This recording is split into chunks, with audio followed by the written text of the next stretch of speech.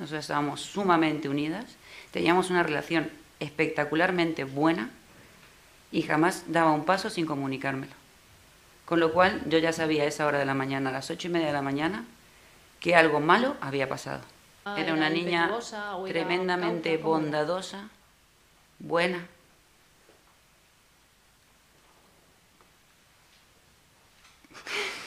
Era un ángel. Era muy miedosa. Muy miedosa. No podía ver ni películas de terror porque le daban pavor. Era muy frágil. Siempre fue muy frágil, nació muy prematura y siempre fue muy frágil.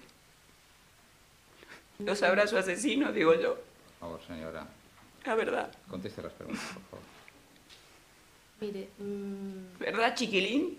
Señora, no vuelva a hacer eso porque va a ser expulsada de la sala. De acuerdo. Por favor. Disculpe. Claro, compórtese, por favor. Si quiere calmarse, esperar un poquito, esperamos, pero... No, no, no, estoy perfectamente.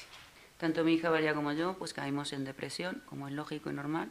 La incertidumbre yo creo que es uno de los peores sentimientos que puede tener una persona en este mundo, porque no sabe realmente qué es lo que está pasando. Y yo creo que no me morí de milagro, de pena.